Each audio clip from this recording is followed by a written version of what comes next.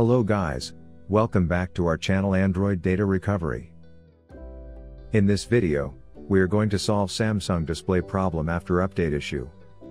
Thus, if you are facing the same problem, then this video will surely help you in fixing it.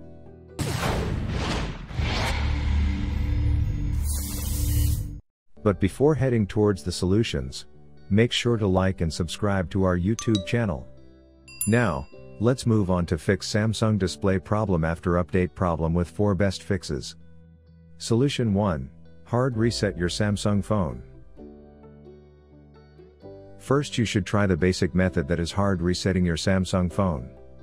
Especially if you've been using your phone for a couple of days, hard resetting it can help you to fix minor glitches in the phone along with Samsung display problem. To do this, pressing the power button and volume down button simultaneously for more than 7 seconds. This may restart the device and get the screen to a normal state again.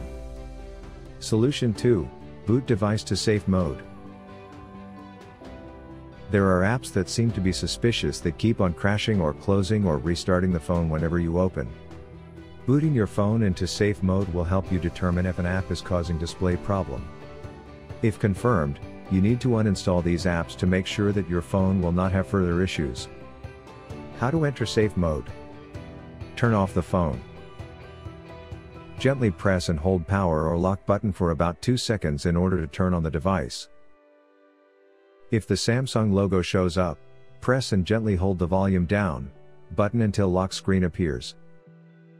If the lock screen shows up, the safe mode will be shown in the lower left side corner of the phone screen. Solution 3 Use Android Repair Tool. If you are looking for an automatic way to fix Samsung display problem, then opt for the Android Repair Tool. This software can solve Android slash Samsung system errors and issues easily. So, if you want to try this software, simply download it on your PC, the link given in the description box below. Once downloaded, you will be asked do you want to allow this app to make changes to your device, click on yes. Then, install it on your PC by clicking on install option. Click on start now option. Launch Android Repair Tool.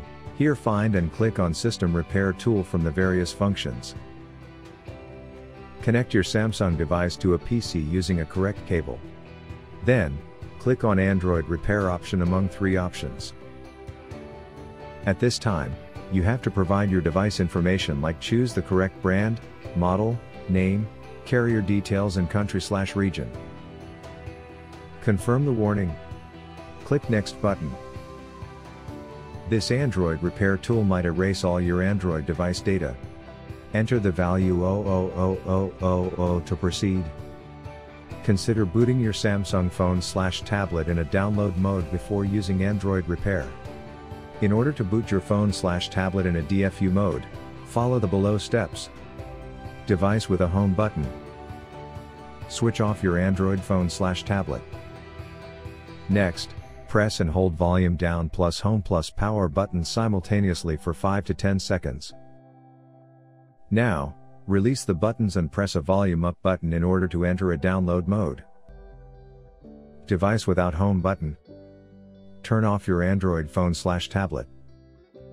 Then, press and hold a volume down plus Bixby plus power button simultaneously for 5 to 10 seconds.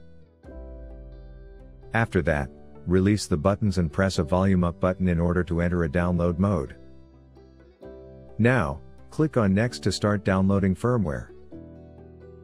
Once downloading and verifying firmware process gets over, the Android repair program automatically begins to repair issue on your Android phone. Solution 4, contact Samsung Support Center. Of course, if all the methods do not work, contact the Samsung Support Center. Better yet, visit the nearest service center and let the professionals repair the phone for you. So, this is all about fixing Samsung display problem after update issue. If you found this video useful, then give it a like, share it with other and also subscribe to our channel to watch more useful videos. Thanks for watching.